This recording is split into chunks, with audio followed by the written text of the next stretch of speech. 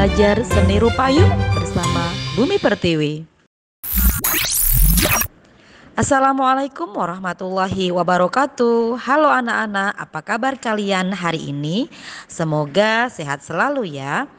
Nah, di pertemuan sebelumnya kita telah belajar menggambar kubus dengan perspektif.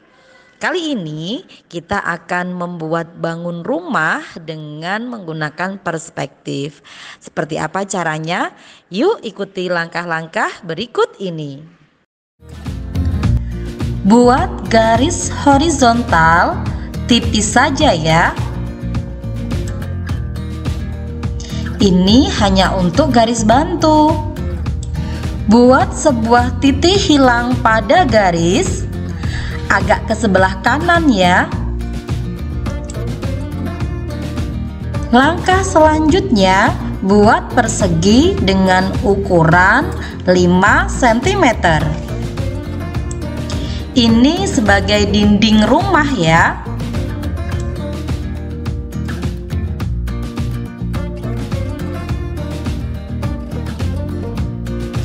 Langkah selanjutnya buat segitiga sebagai atap rumahnya.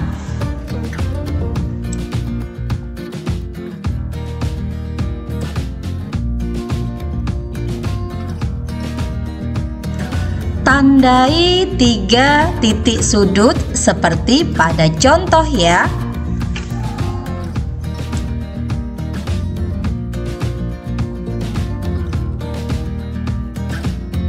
Lalu tarik titik sudut yang sudah ditandai tadi ke titik hilang. Lakukan hal yang sama pada titik yang lain.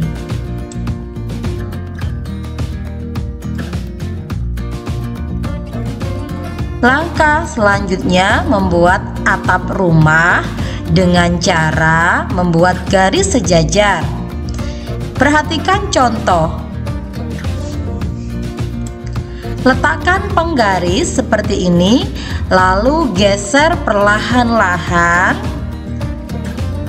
Baru buatlah sebuah garis. Lakukan hal yang sama pada dinding ya.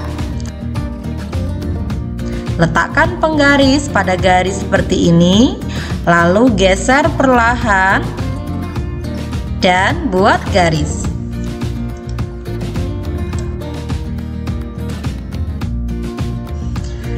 Nah, bangunan rumah sudah mulai terbentuk. Langkah selanjutnya kita akan membuat genteng rumah ya. Bagilah menjadi dua, beri titik, Kemudian titik ini tariklah ke titik hilang.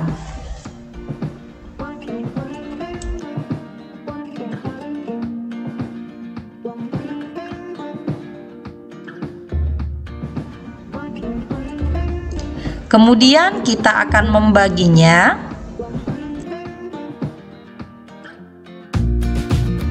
Letakkan penggaris pada garis seperti ini Kemudian geser.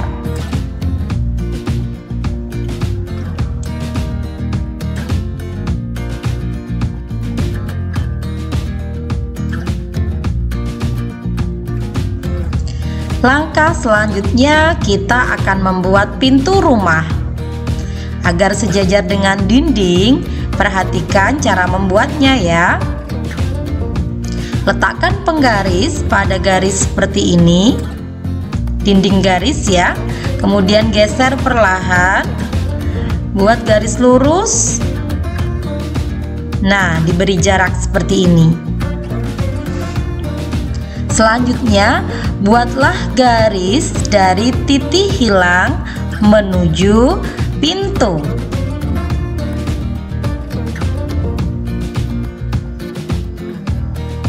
Nah, seperti ini ya. Kalau kelebihan garisnya boleh kalian hapus.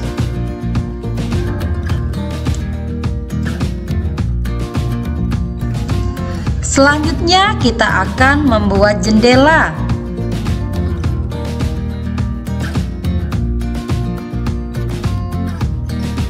Caranya sama ya. Buat garis dari titik hilang dua garis ya seperti ini.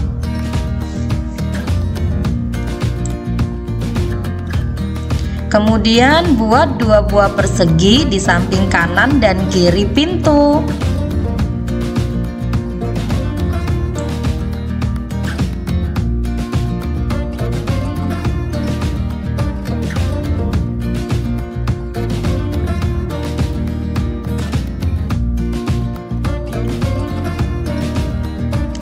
Lalu tebalkan semua objek rumahnya.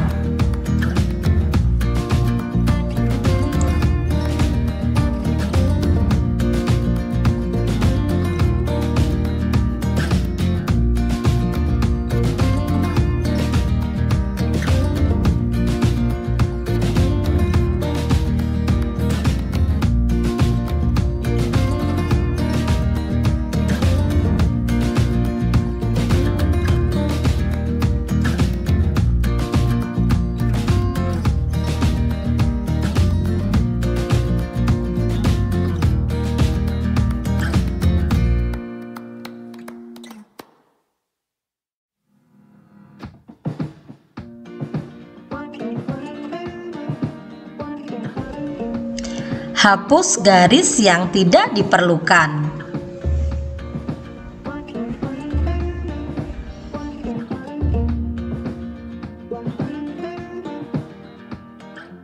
Nah, jadi deh.